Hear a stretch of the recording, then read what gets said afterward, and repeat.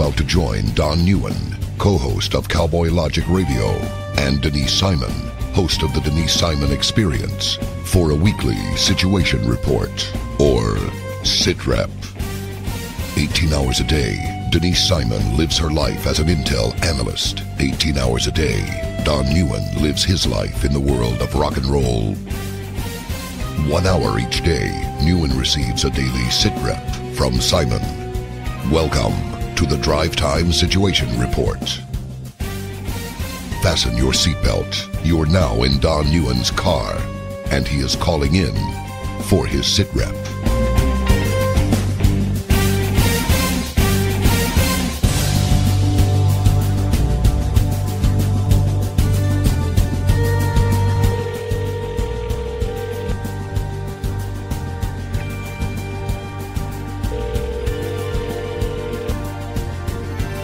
Uh, Smello. Hey, what's up, Denise Simon? Hello, Mr. Don Neuen. Hey, first of all, a belated happy Thanksgiving because you and I didn't talk on Thursday of last week. Nor did No, but I sent a Saturday or Skype message. Well, yeah, but I wasn't there. Well, Donna was. wasn't there. Did she respond? She sent me one. I sent her one. Oh, maybe she responded on her phone because we were in Wisconsin visiting Mhm. my dad. Hey, before we get into that, let me welcome everybody to tonight's Drive Time Sit Rep and recap of Don's trip to Wisconsin. Because Denise, I know you're waiting with bated breath for me to tell. I, uh, I am. I really am. Anyway, ladies and gentlemen, welcome welcome to this week's Drive Time Sit Rep. My name is Don Neuen. I am the co-host of Cowboy Logic Radio, and on the other end of this faboo, if I can use an Audrey Russo term, is the stellar Denise Simon. I am in my car driving home after a long day at work. Denise is down in her bunker, hunkered down in her bunker near the the, the Tampa Clearwater St. Pete area of Florida. And I am calling in to get a recap now of almost a week since you and I have spoken because of the holidays. So we've got a lot of catching up to do. But since you are sitting there so well behaved, waiting for me to tell you about my trip to see my dad in Wisconsin, there is one thing that I most certainly need to bring up, and that is that I, I am encouraging you and your wonderful husband and your kids, if you have the opportunity to do this with them, to go to a restaurant that is one of my favorite, and it's called Culver's, C U L V E R S. Now, this is a Wisconsin based hamburger chain, home of the Butter Burger, Denise. The Butter Burger. Do you know what that means? No. It means that they lightly grill their buns in butter. Oh, Denise. And they use only Wisconsin cheese. Now, all cheese may come from Wisconsin. We don't know this to be uh, not true. But Culver's most certainly uses Wisconsin cheese. And the thing is, the thing about this restaurant, and then we're going to get on to business. This is one of my favorite fast food restaurants. It actually may be my favorite fast food restaurant because you can go in there, you can be treated well by the the staff and the and the crew that works there. The place is always clean.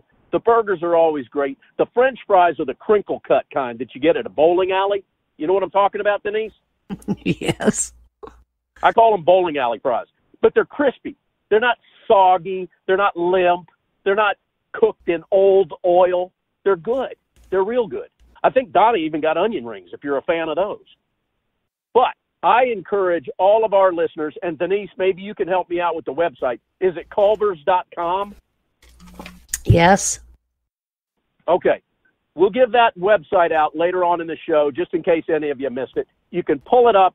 You can find a Culver's near you. And I really encourage you that these are not advertisers for us. They don't even know who I am.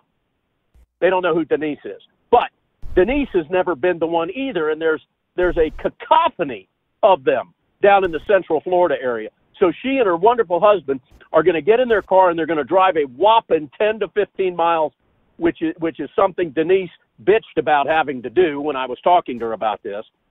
10 to 15 miles she can drive and eat at a Culver's. Back to you, Denise. Okay, we're going to timestamp the Hey, show. wait a minute. Wait, wait a minute though. You did bitch about having to drive that mere distance. I didn't bitch. But you, I just, okay, you I only said it was, you know, it's about 10 miles from me. I generally don't drive 10 miles to go get something to eat. No, you said I don't do that anymore. If it's not 15 seconds away, I don't do it. That's pretty much it. That's what. You, and ladies and gentlemen, I don't know about you, but I call that bitching or whining, one of the two. But Denise is allowed to do that because she is the great and stellar Denise Simon. Denise, let's timestamp the show and get after it. it is 8:34 p.m. Uh, on the 26th of November in the year of our Lord 2018. And I'm Very still well eating done. turkey. I'm still eating turkey. Well, my stepmom Sue Neuen did an awesome job at creating a, and I'm sure you did too because that's something you take great pride in, are the holidays. Did you set up all 37 of your Christmas trees? No, but um, we uh, had a neighbor that gave us one. It, it just seems to work out that way because they had a friend that didn't want it anymore, so he took it and said, "I know somebody will take it." So now I have seven, and we just pulled it out of the box, and it's kind of weird. Um, maybe one quarter of the lights work. You know, those pre-lighted trees are the kiss of death Right. and it has this quasi rotation thing to it. it rotates six inches one way and then kind of go. So it's like, oh god, what do we do with this tree? Where are you going to put it? I don't know. Because you I already have now six on Yes. display, right? Th- well, I don't have them up yet, but that's normally the case. Correct. Well, it's good that you went to the seventh tree because sixth is the sign of the beast. So you got to get you got to get away from having six Christmas I don't trees. know where it's going to go. Well, you can put it any place. You can put it out by the pool, in the cabana. Hey, do you have a pool boy? No, Okay. I'm the pool boy. All right. Hey, so um, let me let me tell you, since we're talking about Christmas trees, very quickly, back to Wisconsin and the trip to see my dad. Dad and Sue took Donna and I to this place called the Paine Museum. I can't remember if it's P A Y N E or P A I N E, but it's called the Paine Museum. And it's either in Oshkosh or Appleton, Wisconsin, one of the two. They're very close together. Anyhow, there were probably, I don't know, 50 Christmas trees set up in this mansion that is a uh, museum now. It's a very cool place. And I saw something, Denise, that I've never seen before. And I would guess, because you're so damn worldly, you've probably seen this. But I have never seen an upside down Christmas tree. That was the trend um the last four or five years uh for the millennial types or the you know the the hippie types. And Have you ever have you ever seen one? yes. They are pretty damn cool looking. Uh, Creepy, creepy looking, but cool. I, I, I took still, a picture of one. I still haven't figured out what's the novelty of them. I guess it's just flipping the tree upside down and having the roots stick up toward the sky. I mean, It- it, was cool. It was one of those things where I went, "Whoa!" and Donna and I went, "Whoa! Check that out!"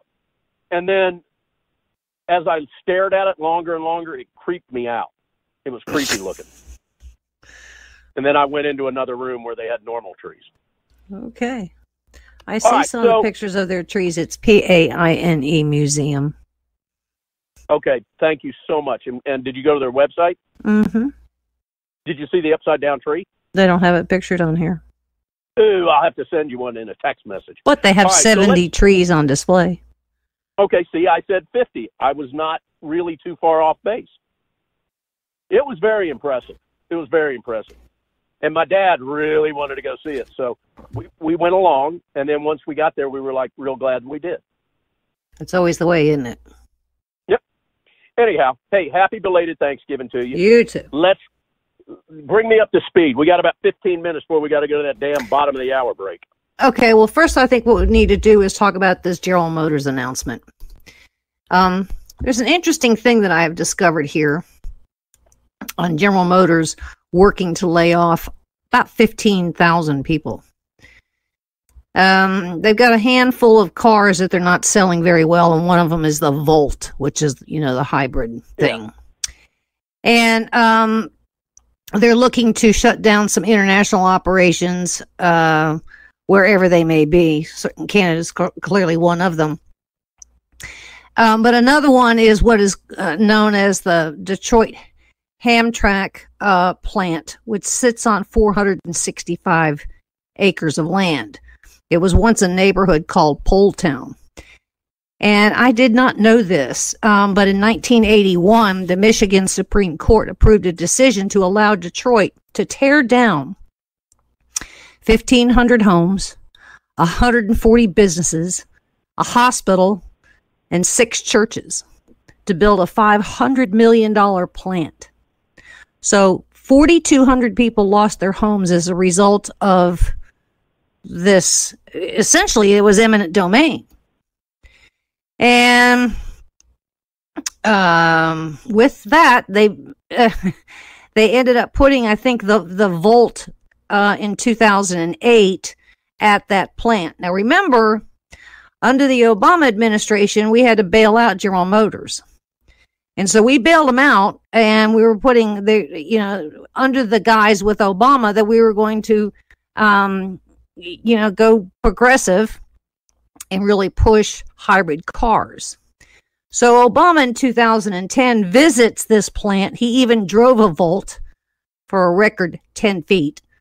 Um, yeah, I remember. I remember that. but they're not selling the cars. They're not selling yeah. those volts like they thought they would. They they really wanted to, you know, sell you, you know two hundred thousand of them a year, and that's just not happening. It's just now is not. the volt is the volt a a total battery operated car or is no? It a it's hybrid? a hybrid. It's a hybrid. Well, they're competing with what I drive in and out of Atlanta, a Camry hybrid, which I love and you can't compete. Chevy can't compete with the quality right now that's coming out of Toyota.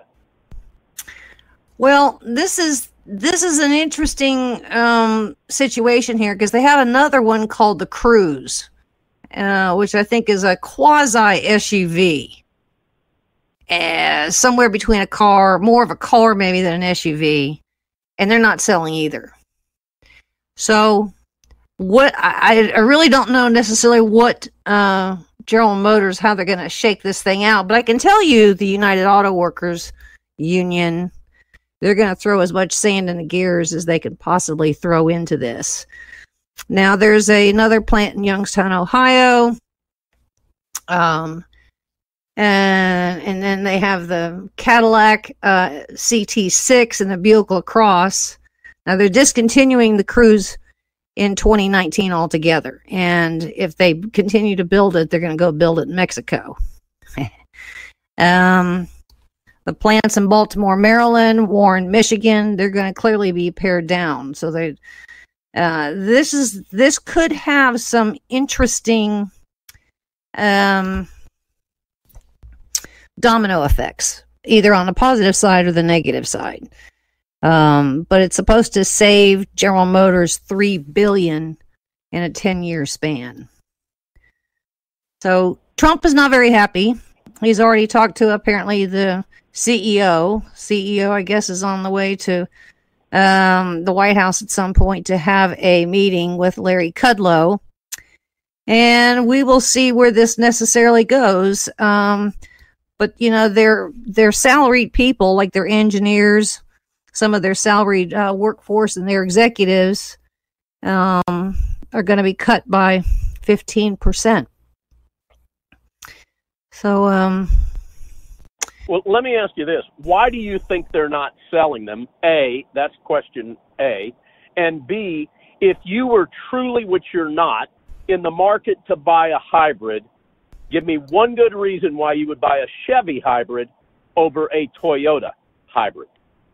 Well, I can't because I'm not a, I'm not a hybrid kind of person. I mean, so I mean, I don't but know. if you were, if you were, if you were, I don't know anything about either of them. I can't make that distinction. But the other piece of that is when it comes to a hybrid, when gasoline was at three and four dollars a gallon, then there's a different look. I mean, that would call it, cause a real head tilt. But they actually are saying that, you know, a week before Christmas, gasoline in several parts of the United States will be, be below $2 a gallon. If that's the case, then you don't need a hybrid. You know what I'm saying?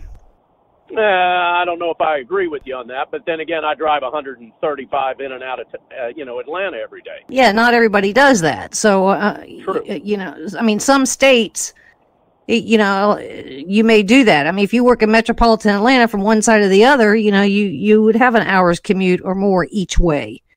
Uh, Florida is a retirement state. Nobody's driving that kind of, uh, for the most part, they're not making those kinds of commutes. Well, I heard in Florida nobody can see over the steering wheel, or very Right. few can see. You still can, but you drive a truck. right. I mean, here's the bottom line, though, and and this is really simplifying this problem you've brought up. But if I'm going to buy a car, a passenger vehicle, I'm going to buy one that has a really good track record of lasting a few hundred thousand miles. And when I think of a Chevy Volt, that's the last thing I think about. When I think of a Chevy Cruze, that's the last thing I think about. Now, a Cadillac, maybe. But, you know, one of the things that the American car builders need to do, especially with their passenger vehicles, is start building cars that people can count on two to 300,000 miles out of if they want to keep driving that car. And Donna and I have had great success with our Toyotas. We've also had great success with our Ford Dually, our F 350. But I'm talking about passenger cars. I mean, right now, Denise, the car I'm driving is a 2014 Camry hybrid. I got 125,000 miles on almost 126,000. I'm getting about 42 miles to the gallon and have had zero problems with it. Now they may start now that I'm over 100,000 and my warranties run out. But the bottom line is, you know, Donna's over 300,000 with her Camry. It's an 02 model. It still runs great. So I think that, uh, you know, GM especially needs to start figuring out how to build passenger vehicles that people are going to get their money worth out of, especially if we're paying union workers pretty top scale to build the damn things.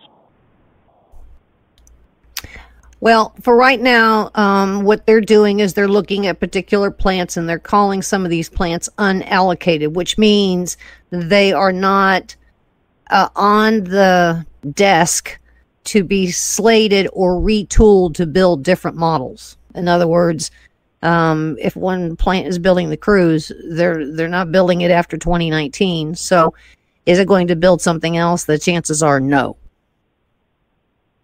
Okay. And what was Trump saying about this? I mean, obviously he's pissed. He is. He he was saying, you know, if the Cruze isn't selling, then you go find a car that will sell, and you keep these factories open, especially in the United States. I don't think he cared too much about, you know, uh, Ontario or, you know, Ch- China or something. But um, Well, and neither do I, and neither do you. I don't care about the workers in China, Mexico, Canada, any place else. I do not care about them. I care about American workers. so we shall see where this goes. Um, you also have the uh, suppliers that you know build the other parts. You know, the powertrains or you know the other you know um, fun parts that that go into them. You know, the leather providers and all those other kinds of things. So we don't necessarily. Yeah, this can have a domino effect, and I would say um, those other suppliers. I know Highland Park, Michigan, for years was one of the largest suppliers of all things Ford, and now you know there's nothing left in Highland Park.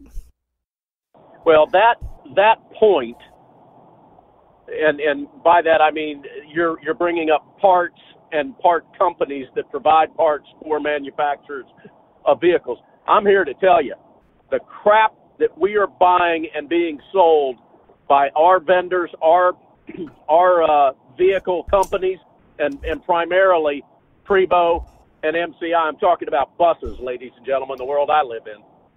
They are crap. The ones that are coming in here from China are crap. And I'm talking alternators, bearings, you know, all these kind of parts that we buy for these buses, the parts that we've been having to buy from China are absolutely terrible. They fail. They fail way short of a life expectancy, and uh, we're switching a lot of them out, and we're we're really having to seek out and find American builders for these parts. Some of them we can't find, but that's what I wish would uh, would happen is is that these damn parts that we're buying from China that that we stop buying them because for the most part they're terrible. 3D printing. Yep, yep. You got a point there. You got a point. Let's see how we're doing on time. We got three minutes. What do you want to talk about? Well, as an aside, this is kind of breaking news that um, uh, Special Counselor Mueller is accusing Paul Manafort of violating his plea deal because apparently, since the plea deal, he has been repeatedly lying uh, in some um, debriefing sessions with FBI. So, as a consequence, um, I think that uh, they are wanting to sentence him to more severe prison sentence along federal guidelines because of these lies, uh, and to sentence him pretty quickly. So um, we don't know. Lying about? Do we know? Do we no, know I don't. About? I do not. Okay. All it says is that he has been lying to prosecutors and to FBI agents in recent debriefing sessions. Hmm. What about Corsi? I saw something today that said he is not taking a plea deal. I saw that too. Um, so we don't know what. I'm a little suspect on this whole thing to begin with because he's the only one that seems that uh, is saying that he feels like he's going to be indicted and that he's working on a plea deal um, because of his relationship with uh, Roger Stone. I would think that of course he goes, then Roger Stone would go, but then again, um, I don't. I don't know where this all leads. Well, the snippet that I read, and and we've interviewed Jerome Corsi. I don't know if you ever. I don't recall you ever interviewing him. No, but we've interviewed no, no, him no. a couple of times, and you know I don't know him from Adam. Donna knows knows him a little better than I do, but she doesn't know him personally. Um, you know, he seems like a nice enough guy. I'm not a big I'm not a big fan of uh, Alex Jones and that crowd, but you know, of course, he was expressing some pretty pretty big concerns about doing time. And uh, the snippet that I saw today is said, you know, basically he said, "I am not lying for anyone. I will go to prison before I will lie for somebody." And so, I guess we'll see what happens, ladies and gentlemen. We got to go to break here in a few minutes, uh, actually a few seconds. While we're at break, I encourage you to go to Denise Simon's website, founderscode.com founderscode.com. You can read all of her great work. Uh, today alone, I probably received four or five emails that were notifications of uh, articles that she has posted. Just go to founderscode.com. You can stick your email address in the little box, and you too can get those emails. You're listening to the Drive Time Sit Rep with Denise Simon. My name is Don Neuen. We're going to be back in three minutes.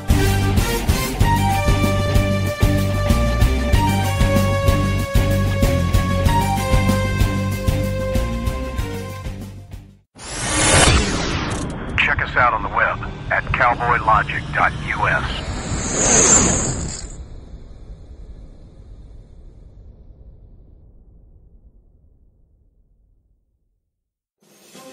Hi, thank you for listening. My name is Ron Phillips, and I'm the owner and operations manager of Talk America Radio. It is with great pride that I offer you this 24 7 stream of some of the finest talk radio programming in the country, but I need your support. We are a listener supported network. That means we need your help to continue to offer the quality programming you're hearing right now. If you're able, please visit talkamericaradio.us and click the Support Us button. Your donation will go a long way in helping us continue to share the American voice. Thank you. This is Denise Simon, host of the Denise Simon Experience. When I'm not debating with Donna Fiducia about politics, I listen to Cowboy Logic Radio. Why, you ask? Because outside of my blog, founderscode.com, and my own radio show, The Denise Simon Experience, Cowboy Logic is by far the most entertaining and informative radio show on planet Earth. Plus, Don makes me feel guilty if I don't listen to his radio show every week.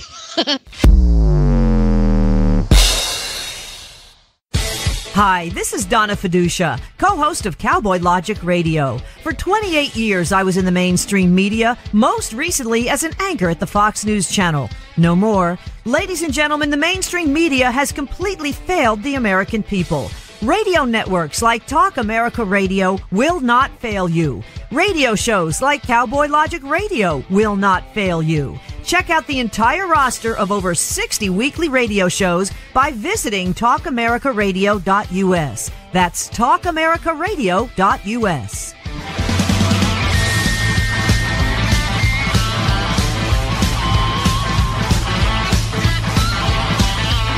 TalkAmericaRadio.us. Can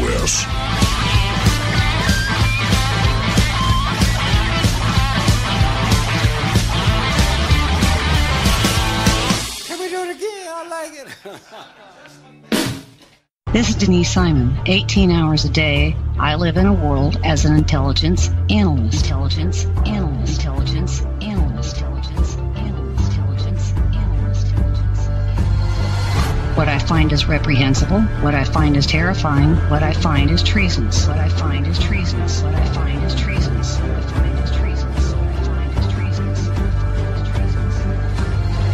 The mainstream media has completely failed the American people. Failed the American people. Failed the American people.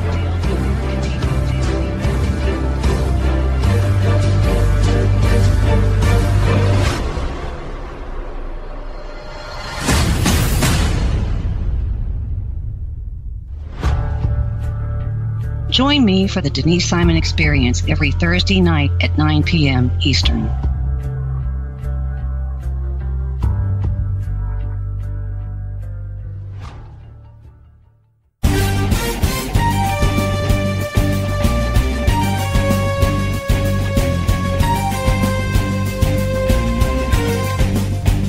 Welcome back to the Drive Time Sit Rep, ladies and gentlemen. My name is Don Neuen. You've got on the other end of this conversation Denise Simon. I am in my car barreling home down I 20 headed westbound. I'm traveling at a brisk 72 miles an hour. That means, Denise, that I am breaking the law by two miles an hour.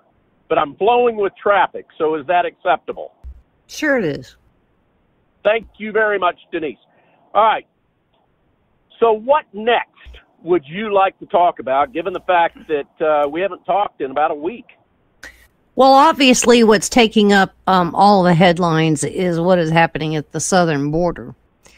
And um, Trump came out over the weekend and said that uh, there was a deal that the Trump administration had made with the new president of Mexico and Mexican officials that these people would remain in Mexico. In this particular case, it looks like Tijuana, uh, while they go through their uh, processes.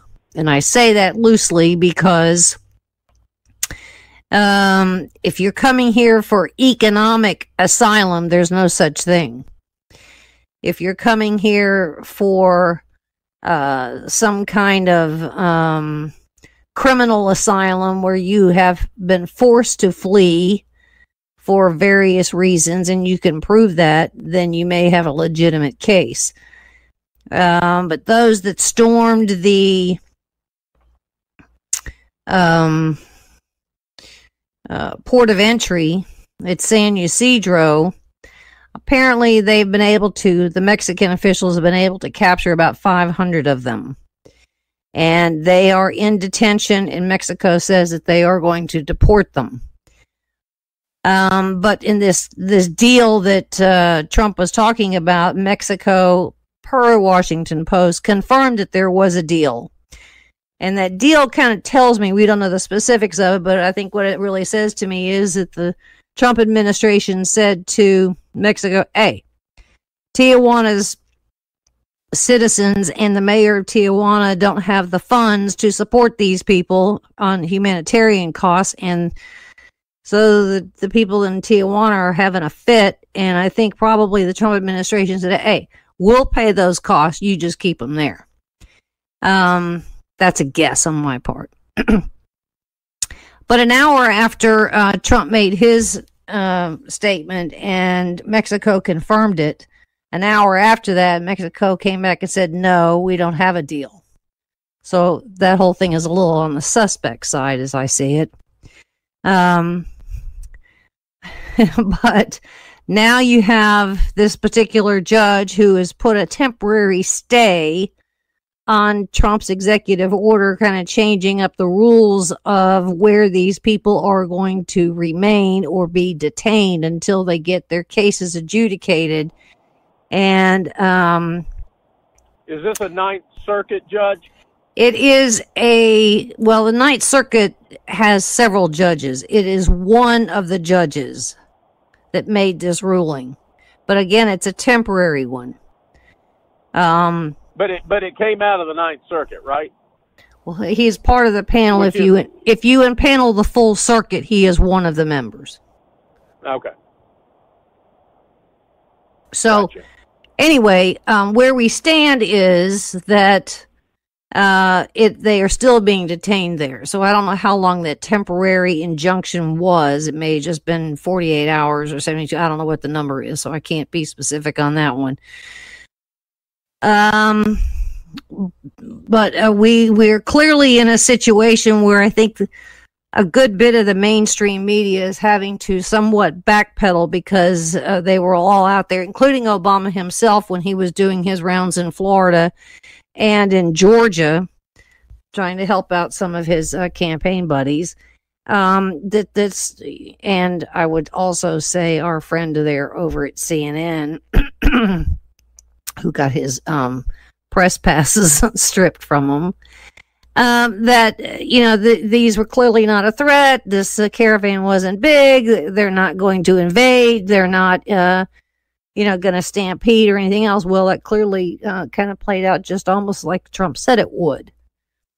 The reason we know this, by the way, and the reason that Trump was able to say what he did say about the stampede is because the Department of Homeland Security has actually got informants that are inside these caravans.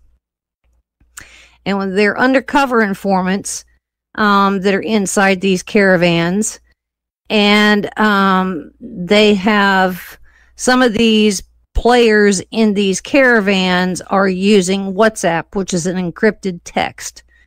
And uh, some of these informants have ingratiated themselves to some of these operatives. And so we know what the text messages are that are going back and forth and what the plans are. So um, that's the reason that they're saying that this caravan is a little different than the other ones because we clearly have uh, digital and human intelligence gathering on the ground inside these caravans. Um, so we know specifically what they're talking about, what they're being told, where they're going, who is telling them how to do what, and all the other kind of stuff. Now, um, it is said that the active duty military forces that are backing up the border patrol is going to cost the taxpayers about 72 million. Um, I would say 72 million uh, is a really with the kind of money that our own government spends 72 million is a drop in the bucket it kind of almost yep. means nothing anymore right sadly so but that's just where we are um, now this mission has actually been named uh, with what the military is doing on the southern border.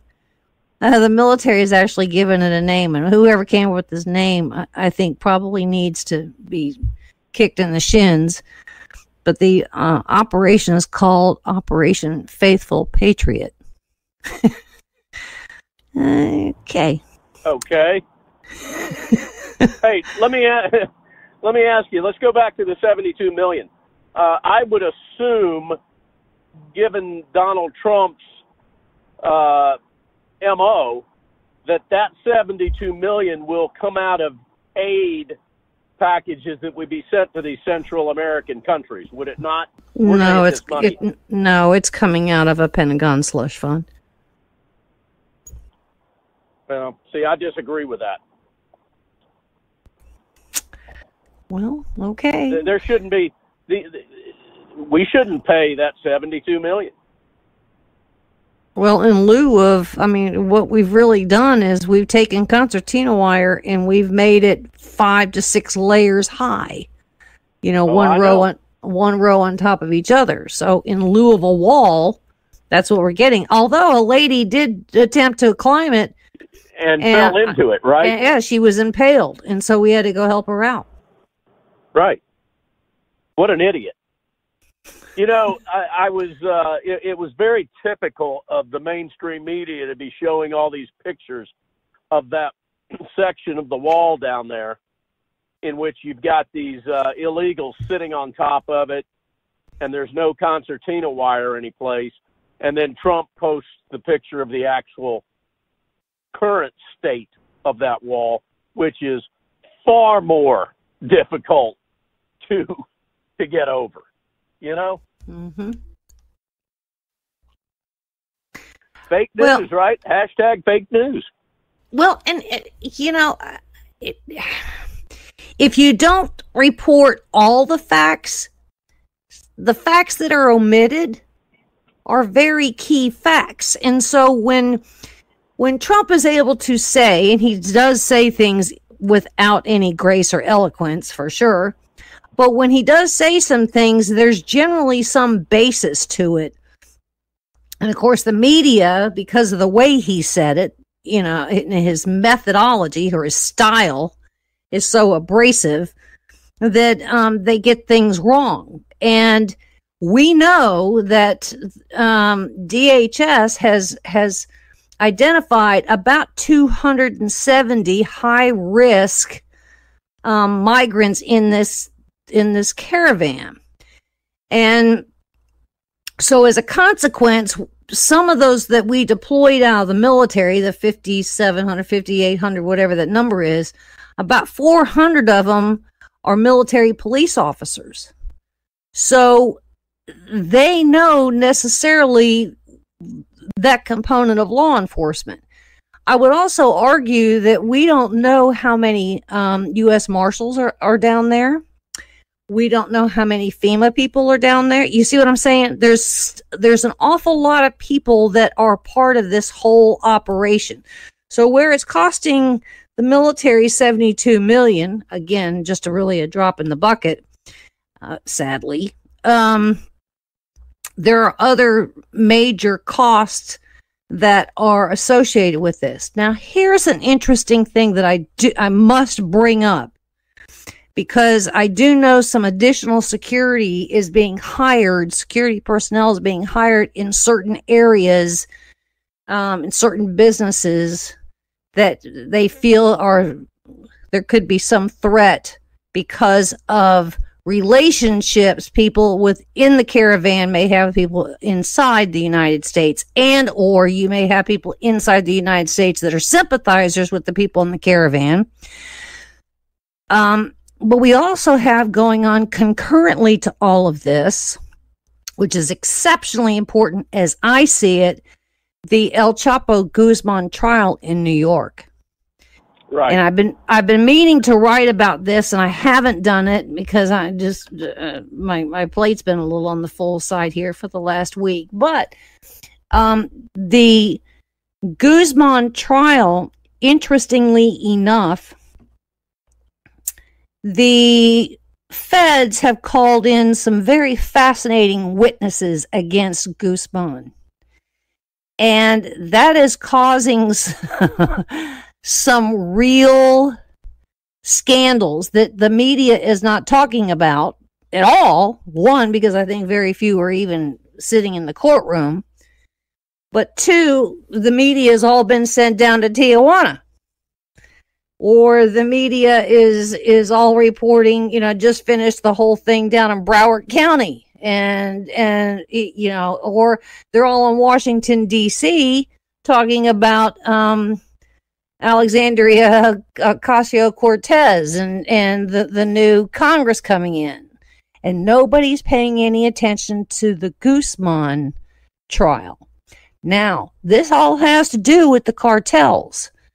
So I would say that the, the DHS and law enforcement and even perhaps FBI are very concerned about the consequences of what is being revealed in the go- with evidence and testimony in the Guzman um, case and the implications it could have for the cartels in Mexico. See what I'm saying with, with all that?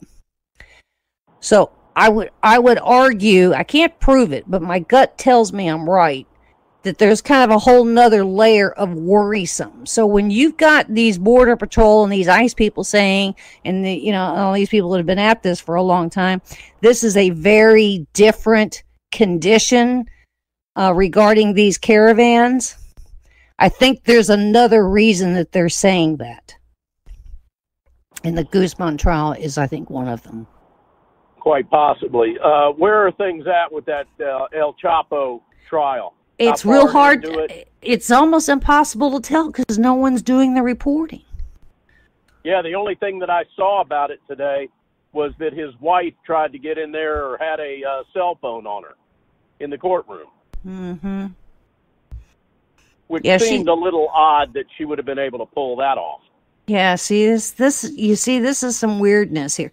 And nobody is really uh nobody knows where he is staying or where he's being detained. That's highly highly secretive. I mean, they have got such a security perimeter around this cat um because you know, after all, he's escaped twice from Mexico, correct? right, right. Yeah.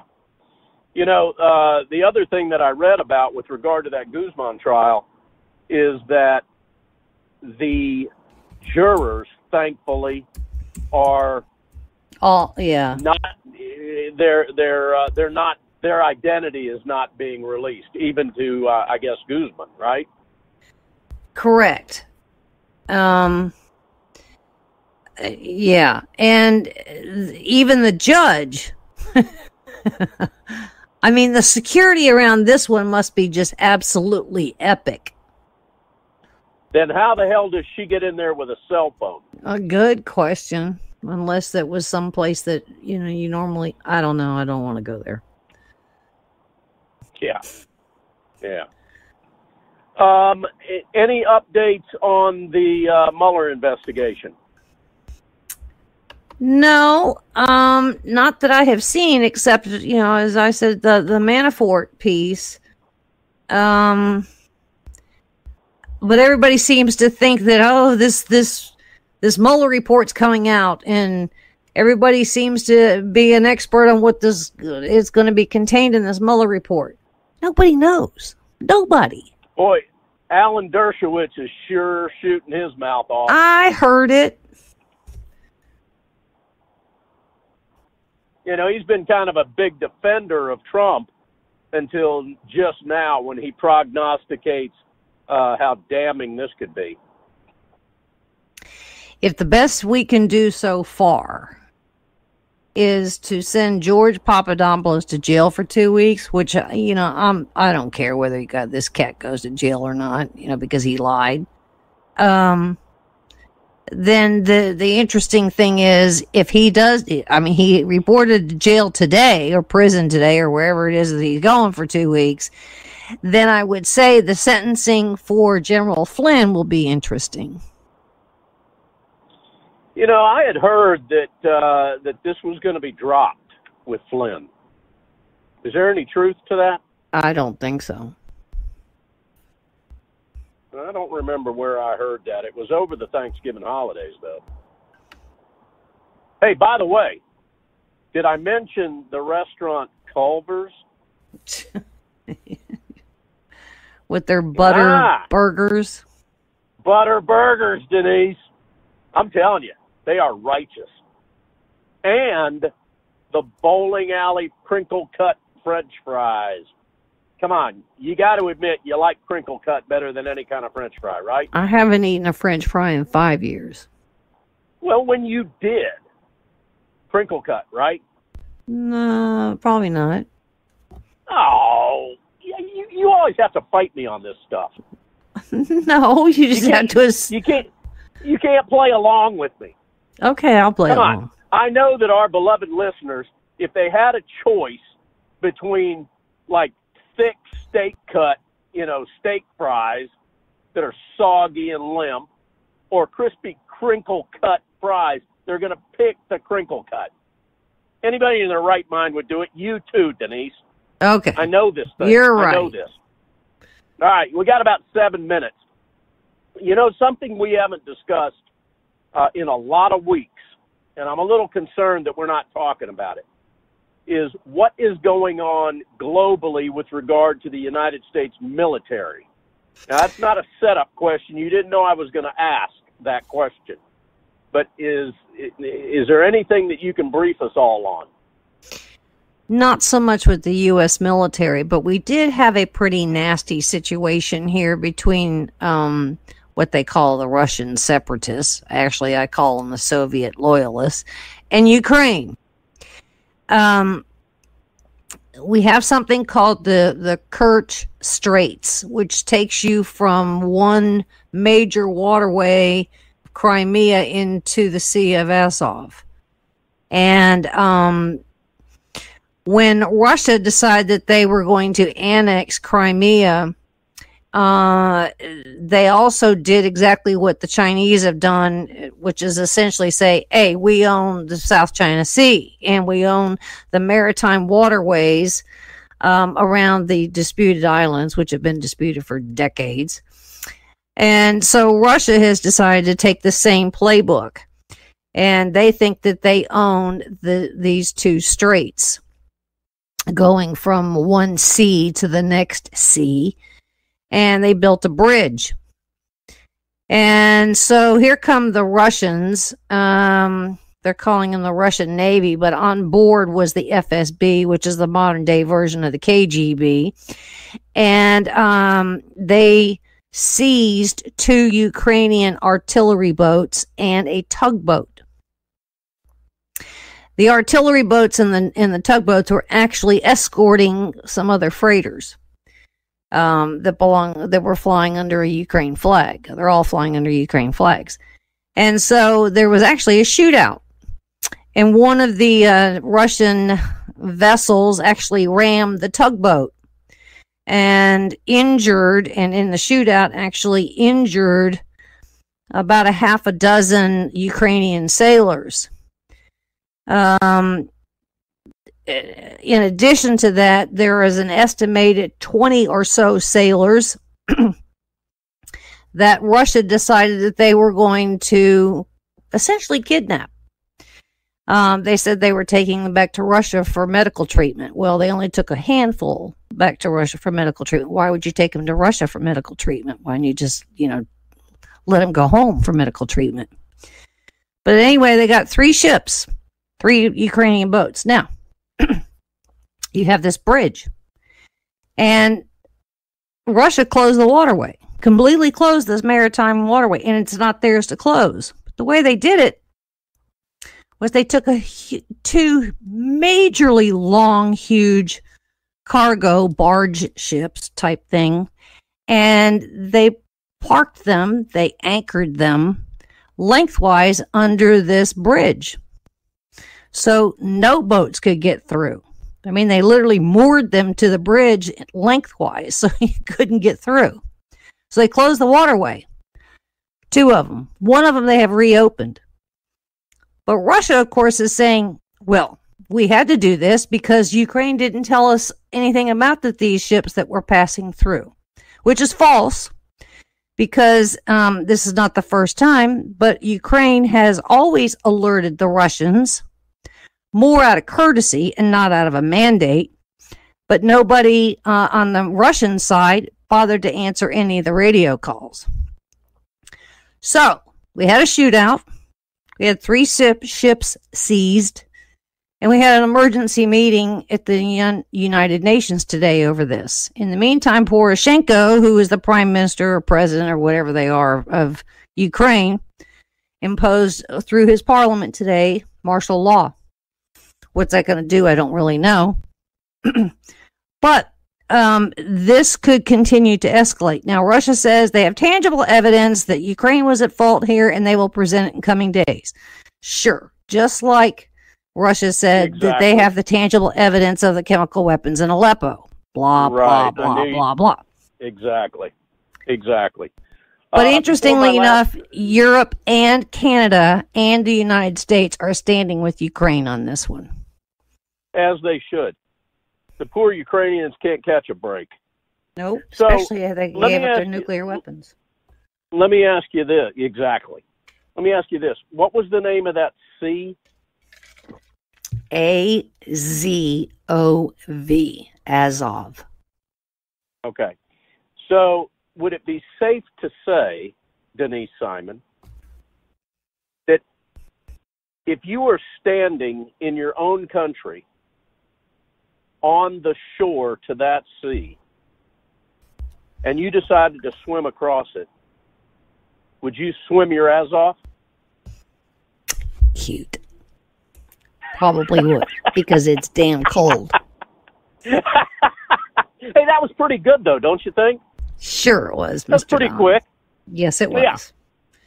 Hey, ladies and gentlemen, we're getting toward the uh, the end of of this week's Drive Time Sit Rep.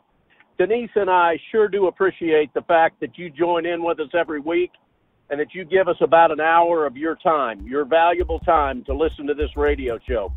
We want to thank all of our affiliates, both the AM FM radio stations that carry this show, along with the internet networks that carry this radio show. Whatever station or network you're listening to us right now on, I hope you'll stick with it. Listen to all the great shows that we've got on these networks and radio stations. But most most specifically, I hope that you'll listen to Denise Simon's weekly radio show, The Denise Simon Experience. Comes on every Thursday night at 9 p.m. Eastern. And I hope that you'll listen to Cowboy Logic Radio, the show that I co host with Donna Fiducia. It comes on every Tuesday night at 9 p.m. Eastern. Again, please go visit Denise's website. It is chock full of well vetted, well written information. That website is founderscode.com. If you have some time, go check out the Cowboy Logic website at cowboylogic.us. And I am encouraging each and every one of you to go online, do a search for what's the name of the restaurant? I'm drawing a blank on it now, Denise. Culver's? Culver's. Culver's. Culver's. C U L V E R S. Culver's Restaurant. Find one near you and go eat it. It's the best damn hamburger because it's a butter burger. Ladies and gentlemen, thanks for listening in. We're going to be back next week with you. Denise, take it home. Thanks for listening, and God bless America.